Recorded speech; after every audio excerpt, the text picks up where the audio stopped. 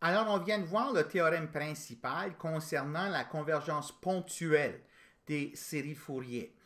Donc, dans cette capsule, je vais faire quelques remarques concernant des situations où est-ce qu'on peut s'assurer en fait que la convergence ne peut pas être uniforme, puis d'autres situations où on peut être assuré que la convergence est uniforme. Donc, je vais donner quelques détails concernant ces questions euh, ici dans cette capsule. Donc, la première remarque que je vais faire, c'est que les fonctions cosinus de nx et puis sinus de nx qui apparaissent dans les séries de Fourier sont des fonctions qui sont continues sur R. Hein. Donc, euh, ça, c'est n'est pas un mystère. Euh, et ensuite, on a vu que quand f est continu par morceau, en fait, j'aurais dû mettre ici que satisfait les conditions de Dirichlet, mais vous savez de quoi il s'agit, que la série de Fourier converge ponctuellement vers la fonction qu'on avait appelée f chapeau, qui faisait la moyenne au point de, discontinuité. Donc, la remarque qu'on peut faire, c'est que, donc ça, c'est la limite ponctuelle. Si jamais cette limite ponctuelle-là n'est pas continue, ben, la convergence ne peut pas être uniforme. Parce que je sais que quand j'ai convergence uniforme d'une série de fonctions continues, faut que la limite soit aussi une fonction continue. Donc ça, d'emblée, on est capable de dire ça. Donc pour qu'on ait un espoir que la convergence soit uniforme, il faut absolument que la fonction f étoile et de surcroît f soit continue. Donc ça, c'est la condition nécessaire. Ici, dans le théorème 8.19, on va donner une condition suffisante et puis qui s'applique dans beaucoup euh, de situations, dans beaucoup d'applications.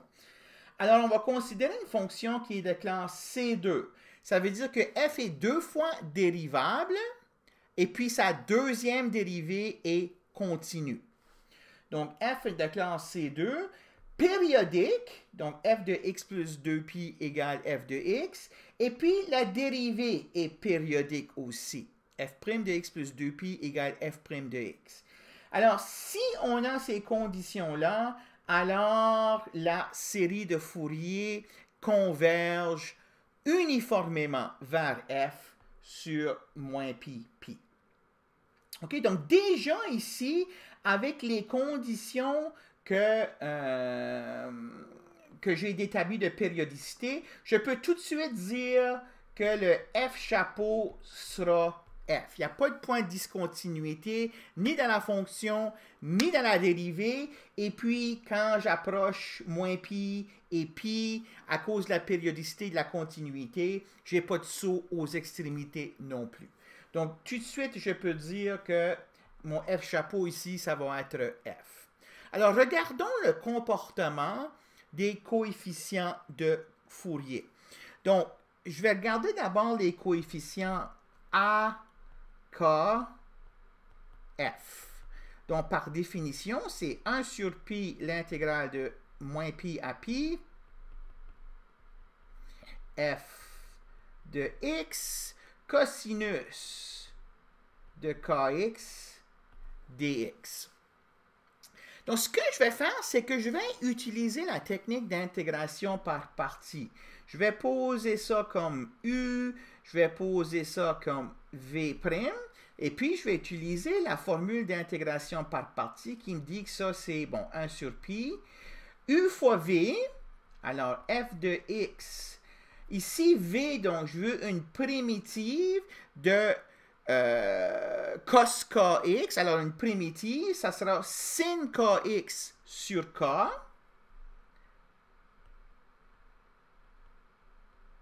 Je vais évaluer ça aux extrémités ici, moins l'intégrale de moins pi à pi v du. OK? Alors, vu'. Donc, je vais avoir ici euh, v, comme je disais, c'était 1 sur k sin kx. Et puis, u', c'est f' de x. dx puis je ferme la parenthèse carré. Donc ça, c'est une intégration par partie. Maintenant, qu'est-ce qui arrive ici quand je remplace pi? Sin de copie, c'est 0. Cos de copie, c'est 0. Alors, ce terme ici, là, il devient 0. Parce que sinus de pi, sinus de moins pi, sinus de 2pi, c'est tout 0, ça. Ainsi de suite. Sin de copie, c'est 0. Sin de moins copie, c'est 0. Alors, j'obtiens moins 1 sur pi, l'intégrale de moins pi à pi, euh, f' de x sin kx dx. OK? Donc, ça, c'est une égalité ici. Hein? J'ai juste utilisé euh, l'intégration par partie et puis le fait que le sinus ici s'annule aux extrémités. Maintenant, qu'est-ce que je vais faire? Je vais faire par partie à nouveau. Sauf que cette fois ici, ça, ça va être, pardon, ça, ça va être mon U, puis ça, ça va être mon V'. Donc, je peux écrire moins 1 sur Kpi. Alors, UV, donc F' de X, une primitive pour sin Kx, c'est moins 1 sur K cos Kx. Encore une fois, moins pi, pi, moins l'intégrale de VU', donc moins 1 sur K cos kx f' prime de x dx. OK? Bon, maintenant, regardons ce terme ici. Je vais avoir f' de pi fois moins 1 sur k cos k pi moins f' de moins pi fois moins 1 sur k cos de moins pi. OK? Cosinus de moins pi, par la parité de cosinus, c'est égal à cosinus pi. Donc tout ça, c'est égal à 1 euh, sur k cos copie f' de moins pi moins f' de pi. Donc là, je suis en train de garder ce terme ici, là.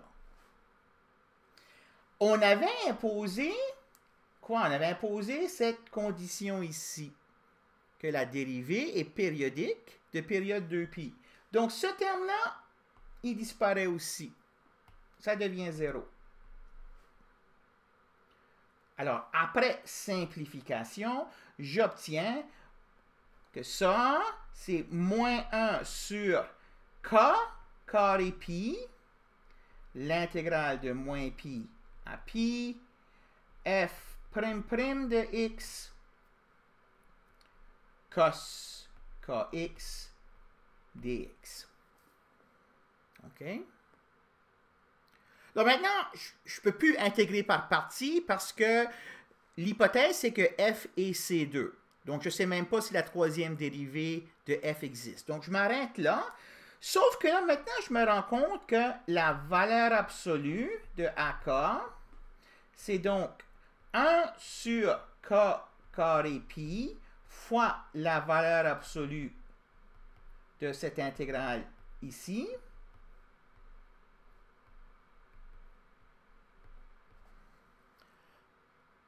Donc le 1 sur k carré pi, c'est ce terme ici en valeur absolue. Ensuite, la valeur absolue de l'intégrale. Je vais me servir de, l'inégalité du triangle pour l'intégrale. Donc, 1 sur pi carré, l'intégrale de moins pi à pi, valeur absolue de f' de x, valeur absolue de cos kx, dx. Et puis c'est là maintenant que l'hypothèse C2 est importante. Si f est de classe C2, ça veut dire que f', c'est une fonction qui est continue. Puis la valeur absolue est aussi une fonction qui est continue. Donc, la valeur absolue de f' de x, c'est une fonction qui est continue. Alors, une fonction continue sur un intervalle borné et borné. OK? Alors, on est capable de dire que ceci-là, c'est plus petit ou égal à une certaine constante que je vais appeler m.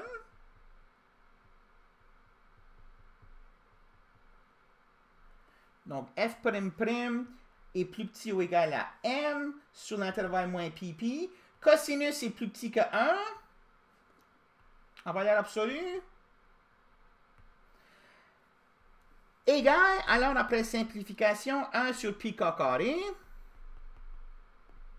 fois m fois 2pi. Hein, donc, si j'intègre ça, là, j'ai 2pi fois m. Donc, égal 2m sur k carré. Alors, les coefficients AK de x sont plus petits ou égaux à une constante sur k carré.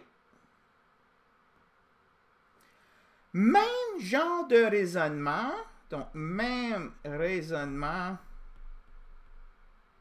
intégration par partie deux fois, me permet de conclure que les coefficients en avant des sinus aussi sont plus petits ou égaux à 2m sur k carré. Alors, quand j'écris la série de Fourier de f, j'ai A0f sur 2 plus somme de n allant de 1 à l'infini à, excusez, à k, à k f. Cos kx plus bkf sin kx, les coefficients ici, si je regarde le terme, le terme que j'ai ici, en valeur absolue, AKF cos kx, c'est égal valeur absolue de AKF valeur absolue de cos kx, qui va être plus petit ou égal à 2m sur k carré. Et la même chose pour ce terme ici. Valeur absolue de bkf sin kx, c'est valeur absolue de bkf. Valeur absolue de sin kx plus petit ou égal à 2m sur k carré. Donc, je peux me servir du critère de Weierstrass maintenant et comparer cette série ici à une série de Riemann avec R égale 2 plus grand que 1. OK? Donc, en utilisant le critère de Weierstrass,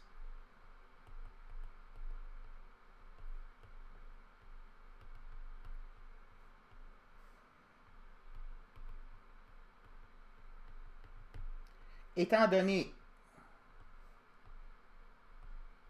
la convergence de la série de Riemann avec R égale à 2.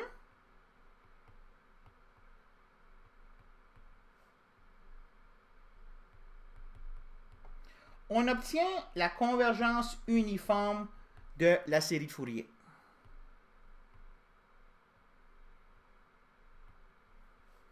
Convergence uniforme de la série de Fourier, puis on avait vu que la limite ponctuelle ici f de x, donc on doit avoir convergence uniforme vers f de x. Donc ça, c'est une condition suffisante pour avoir convergence uniforme. Ce sont que f est classe C2 et puis que vous avez ces conditions ici. En fait, on pourrait relaxer ça un peu avoir juste de classe C1. Euh, mais là, il faut travailler un peu plus parce qu'on n'est pas capable d'intégrer une deuxième fois par partie. Alors ça, c'est quelque chose que vous verriez d'un cours de, de, troisième année. Donc, ce sont des conditions ici qui sont suffisantes, mais pas nécessaires. On pourrait avoir la convergence uniforme sans avoir nécessairement ces conditions ici. Je veux donner un dernier euh, résultat que j'appellerai ici, je l'appellerai un théorème même si je ne le démontrerai pas. Donc, théorème 8.20. Alors, si f euh, est, euh, satisfait les conditions de Dirichlet,